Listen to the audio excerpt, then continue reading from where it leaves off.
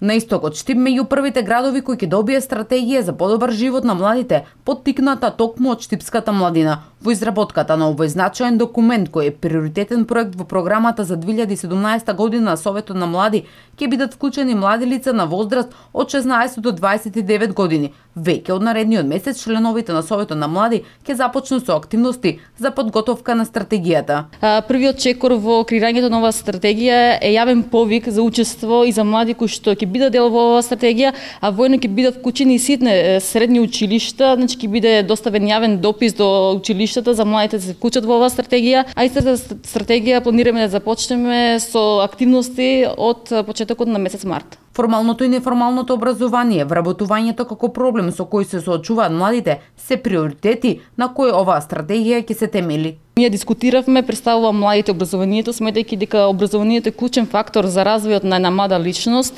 потоа овде спаѓа младите и културата и младите и неформалното образование, потоа младите и квалитетот на животот,